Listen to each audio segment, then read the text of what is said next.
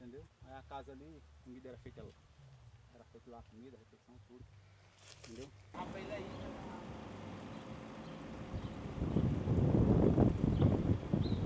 Residência, viu? Você pode frisar que foi encontrado dentro da O residência. rapazinho aí não é correbó também. É nada, né? Só que eu quero é voltar pra minha cidade, que é longe, minha família. Minha mãe é de Palmeiras, não tem condição de. Da Teresina. Não. Não é Teresina, não. Você sabe o nome do outro?